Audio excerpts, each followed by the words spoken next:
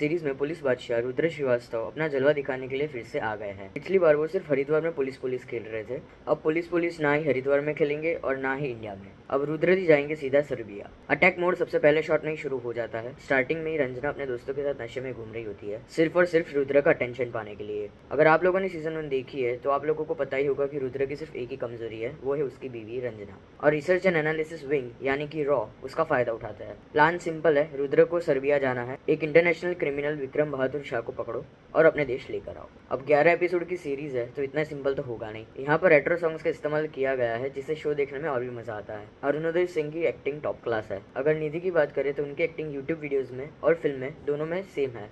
यानी कि एकदम नेचुरल इस बार भी आपको सानंद वर्मा और स्नेहिल मेहरा स्क्रीन पर दिखेंगे ओवरऑल देखने जाए तो अपहरण सिंगम और दबंग का मिक्सचर है इसमें आपको थ्रिलर कॉमेडी क्राइम सब देखने को मिल जाएगा तो क्या आप लोगों ने ये सीरीज देखी है या नहीं ये मुझे कमेंट बॉक्स में जरूर बताइए तो चलो यार यही था मेरा आज का रिव्यू अपहरण के ऊपर तो मिलते हैं अगले वीडियो में तब तक के लिए बाय